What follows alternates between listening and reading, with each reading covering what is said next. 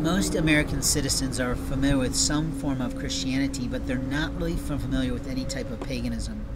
I usually encourage people to go internationally for the definitions of paganism because I like those definitions. They're simple, they're easy to remember, and anyone can adhere to them and anyone can adjust themselves easily to them. When you're trying to create a philosophy for life, a living standard, you have to have a baseline of five or seven tenets that make sense to you.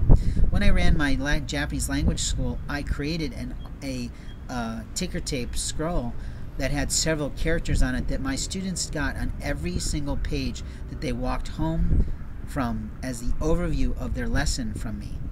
And that was to remind them of their responsibilities to my classroom and me as their professor, their educator, their trainer, their teacher, the master of Japanese.